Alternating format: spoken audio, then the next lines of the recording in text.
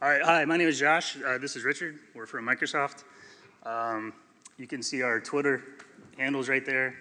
Um, I just created mine yesterday, so I have like four tweets and three followers, so set your expectations accordingly.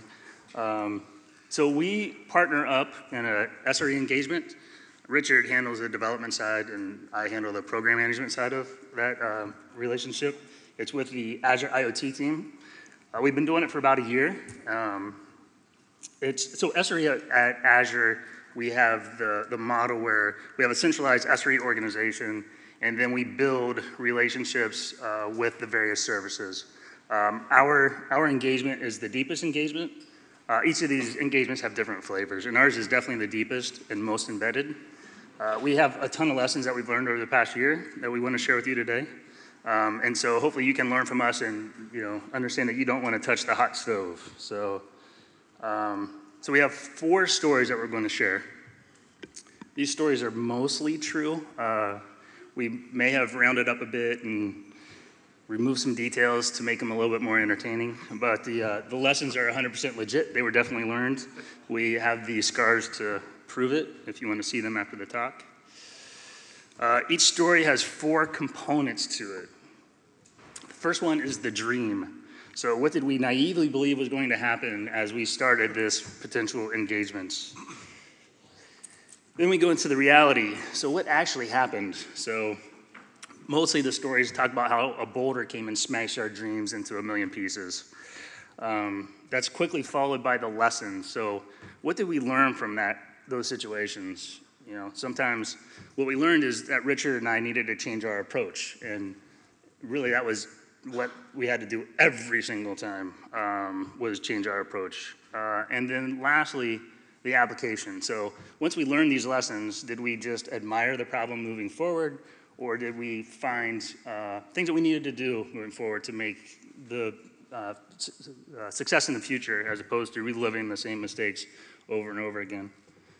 So uh, we've had an absolute blast over the past year doing this, and we hope that you enjoy our, our talk um, and some of the lessons we're going, to, we're going to share with you today.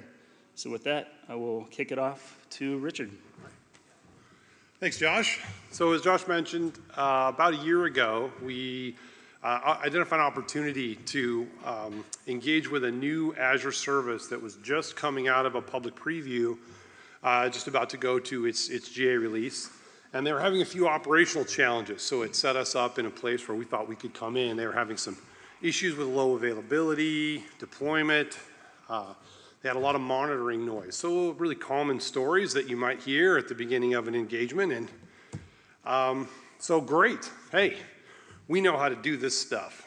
All of us have run big services. We've run at scale. We've run things way bigger than this service. Uh, we know what it should look like.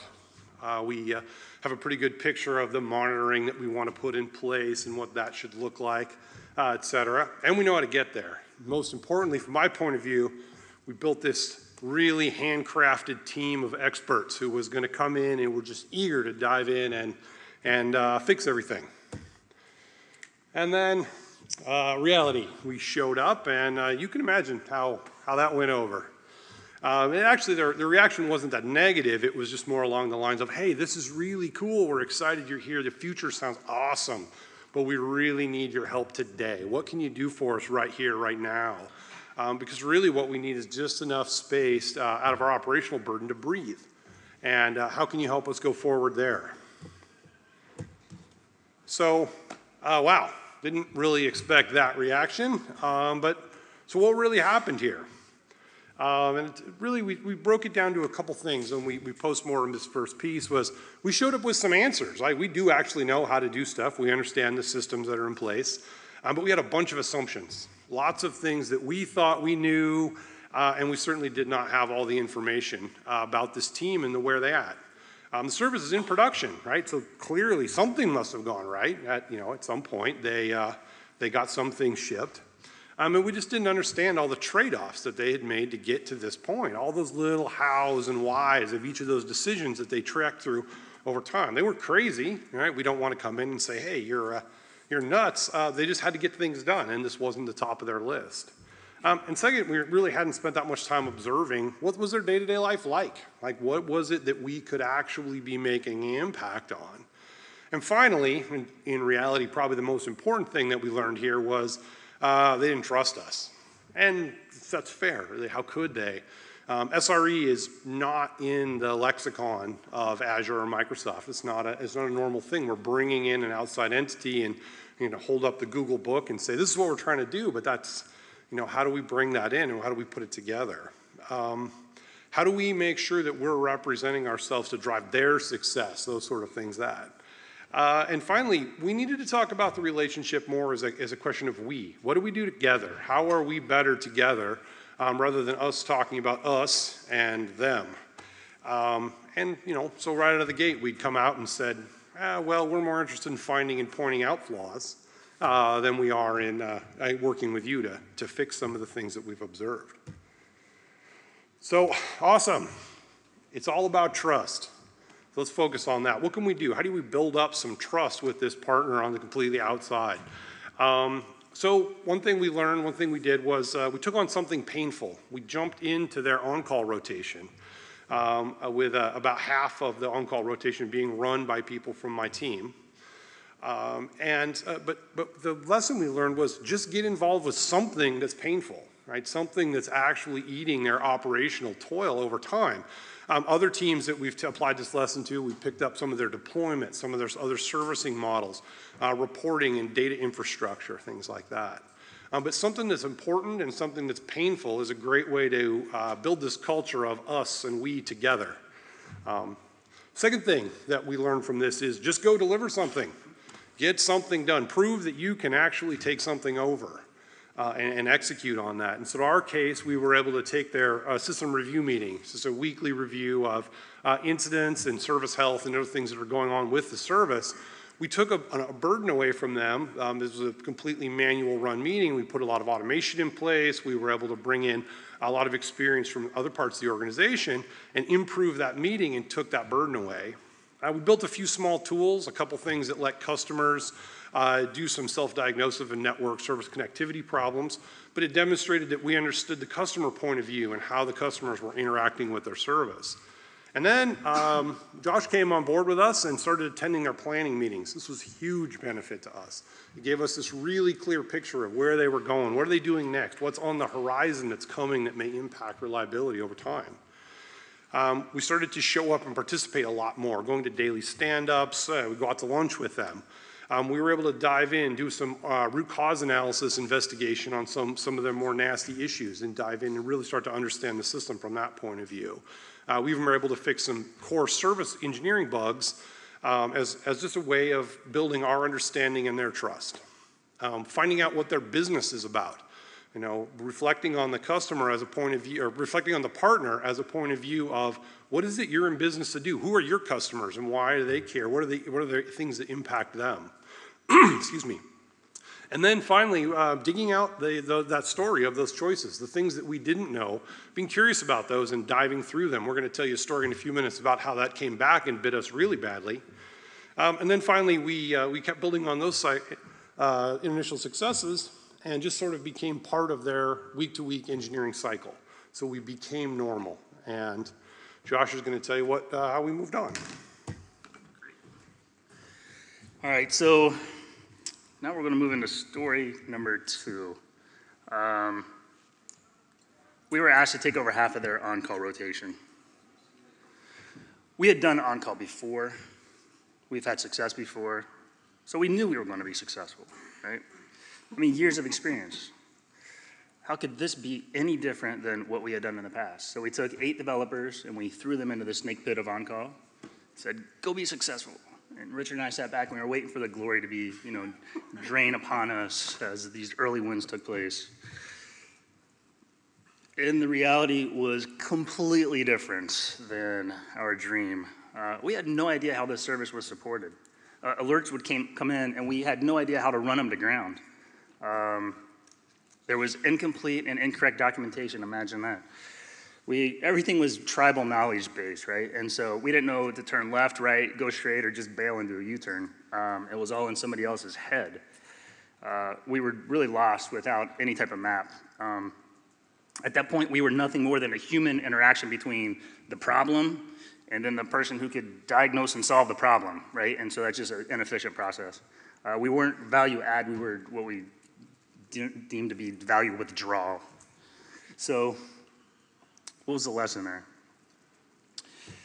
So, um, we were degrading the trust in our relationship with this team at this point. Uh, we were more of a burden than anything else. Um, so what we learned is, you know, on-call success on one team doesn't equate to success on another team, especially a new team. This is a new team who've really been focused on building out their, their, their futures, right? So not a lot of focus on the care and feeding of how they're going to support what's already been rolled out. So it's really in, uh, in the early stages of maturity from that standpoint. Uh, and all teams are different, right? From standards, tools, uh, the processes that they use for builds, releases, trouble management when that comes in. Uh, and the internal procedures for absolutely everything are different team by team, right? Uh, and then just figuring out what is signal and what's noise in their daily lives and, the, and with the alerting. So, what did we do with those lessons? Three things. One, we invest a lot more time in shadowing now when we're taking on something new. Uh, really look over their shoulder, sit with them, learn and understand their tools and processes and systems and the working of that service. Uh, number two, we worked with this team to actually increase awareness of basic support structure um, and the care and feeding of that. You know, things like troubleshooting guides and whatnot, documentation of all of the things. Um, and then the third one that's been really helpful is at the end of an on-call rotation, we pull everybody together and we do lessons learned, so cross pollination across the team. So we don't repeat the same mistake twice, and we can learn those lessons and really build our maturity up uh, and, and, currently, so this, the, the, good news story in this is we're now supporting them with really minimal action with interaction with this team. We're self-sufficient, supporting half of their on-call. And in addition, we have a roadmap for the next service that we want to go into and help with on-call. We have that roadmap that we've built that we can just uh, plug into there. Now we'll roll into story three. All right. Thank you. It's quite a setup. Um, so uh, now we're uh, operating on call with our partner, and we identified um, one of the major causes of incidents and outages was uh, during deployment time. And uh, so, on average, uh, most of the time, every deployment would break something. Uh, sometimes it was just set off a lot of very noisy alarms, and it would cause the on call or DRI person to have to spend a lot of time closing out noise incidents. But usually, typically, there was some level of customer impact. Not necessarily huge, but there was something that was impacted. And hey, we, we know a deployment system. We've used it before. We, we can fix this. Um, and we know everything. We have a great solution, and we know how to take all your pain away. And our reality, nobody wants to talk about that. And so we went back and we did a, a uh, an evaluation of what had gone wrong um, in, this, uh, in, this in this part of our communication. And what we discovered was they had already been down this road. Um, much earlier in the development cycle, they had evaluated the common deployment infrastructure and found there were a couple missing features um, that made it so it wouldn't work for their specific case. And no one had ever followed up on that. Um, second, it wasn't what they perceived to be the biggest problem. Um, so even though we measured carefully, we observed, we researched this out as being the biggest problem, there was some things we didn't know. Um, we knew they had this homegrown deployment system, but again, we ran into this issue where we just didn't respect the journey that they'd been on to arrive right here where they were today. You know, all the choices and different trade offs that they had made over time to arrive at, at the system that they had. Um, and really, just, you know, the lesson for us was uh, we missed being curious and listening um, which painted a really incomplete picture of the situation that this team was in. And when we were doing our planning, we just didn't include them as a partner. We just assumed again that we knew, knew what to do. Um, so, um, what was the outcome? What were the things that we took away from this? Well, the main thing uh, my team is uh, developing a culture and behaviors of being curious, asking a question, um, having the discussions that lead to outcomes that are better than assertions rather than assuming that we know all the answers back and forth, um, asking. Um, And what we discovered was just by asking, we were often were taken on this interesting long history of the decisions and choices that were made to arrive where we were, and we could evaluate the system from a historical point of view um, rather than um, what we viewed as being the great and glorious future. Uh, collaboration, right? We wanted to work together. Um, you know, being being together is always a better way to do it. And so even if we really feel we know we really know how to fix something, um, the partnership just leads and ends to better and more durable solutions to the problem. And finally, using data and measurement to quantify the problem rather than relying on perception. It allows us to step back from that emotional response um, perception is important, and we definitely needed to listen to the partner so we can hear everything that they're saying. Um, but when we use the data and the measurement, we actually uncovered different avenues that no one had observed before, the actual, the thing that was broken and what it was impacting in real time. Um, so that was the, the main outcomes of, of our uh, adventures with deployment. Josh? Okay, the last of our four stories. So over time, we built a solid relationship with the team, right? It looked a lot like this house. It was stable and cute and right sized and comfortable, and things were just going well. We were like in a happy place, right? We were really a part of their team. We were part of their planning sessions and retrospectives. We were, we were working out of a joint backlog that we would mine for all the real SRE gritty stuff, and we would go and do those things. Um, we were driving SRE principles deeper and deeper into their lexicon and the way that they thought about things. So we saw a lot of improvements there. Uh, we were doing joint morale events, holiday parties. We would, our families would go on vacation together. I mean, it was just a really great relationship that we had built. However, we missed the mark. This is the up house, by the way, in Seattle. So if you know the story, it's a pretty good little story we thought we were building a comfortable house on the corner. And their thought was, no, you're building a multi story, multi tenant commercial facility. We thought we were uh, going to SRE one aspect of their service, and they thought we were going to aspect all, or SRE all the aspects of their service, right? We were going to SRE a thing, and they wanted us to SRE all of the things. Um, so we were so focused on one part of their service that we failed to see the grander opportunity that existed. Uh, we also we didn't have the resources to support beyond the support that we were doing, right? So you're in a we were in a bit of a position there. So what's the lesson? First, set clear expectations up front. What does this engagement look like? What is going to be supported? How long is it going to be supported? Is there an exit plan? Number two, lift your head up and look for other opportunities. Right? We were so heads down, focused on the tactical of the engagement that sometimes we miss the more strategic view of the engagement. Are there unmet needs that SRE can lean into and help? Number three, find patterns, right? You can't scale this with people. And so, are you building tech that can be rolled out across other teams or other parts of the services? Are there best practices that you're developing that can be rolled out to other areas of the service. So, what did we do with this? Two things. One, when we adjusted our approach, like I talked about, we're looking for those patterns. How can we spread those solutions across multiple teams? Things like lessons from our on call experience. What can we do? Best practices for other teams for on call. Uh, are there standards that we've picked up that we can roll out elsewhere? Is there automation tech that we can roll out for other teams? And number two, which I think is pretty critical, and that is making sure we're aligned on strategic vision.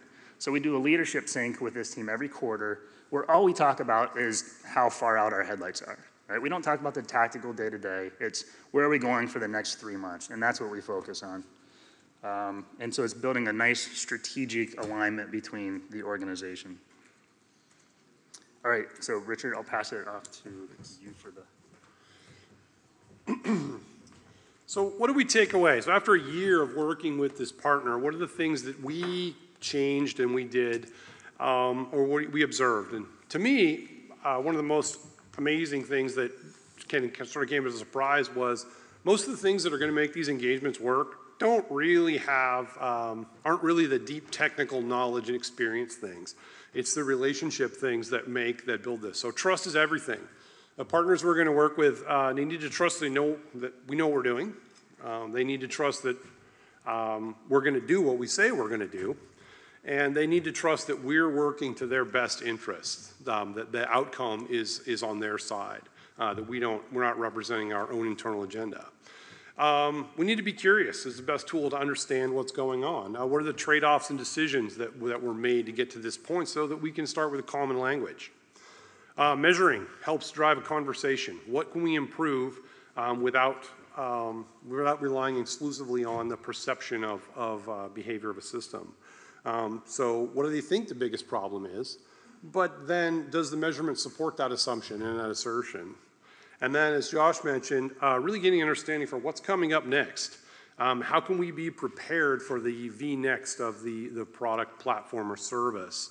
And what are the things that we learn from the current engagement um, that are patterns and solutions that we can push out and use in the next, and the next, and the next uh, for the, the final 70 of these that we, we have to go do? All right, so I'm, I'm going to close with this. So, what is it that we're talking about here? You know, what's the big takeaway in all of this? And it really is, in order to be successful in business and SRE, um, a growth, growth mindset is, is critical, right? And, I mean, this isn't something that's really SRE centric either. This is just kind of life in general, right? So it's a good life uh, way to approach life. You know, to be a be a learner and not a teller is is important. We were in a lot of teller mode, right? And so now we are constant learner mode, which is critical. Um, having the right answer is important, but it's not as important as having the right question, right? Um, and listening to those answers. So I'll close on this quote from Satya Nadella. I'll actually read it as well.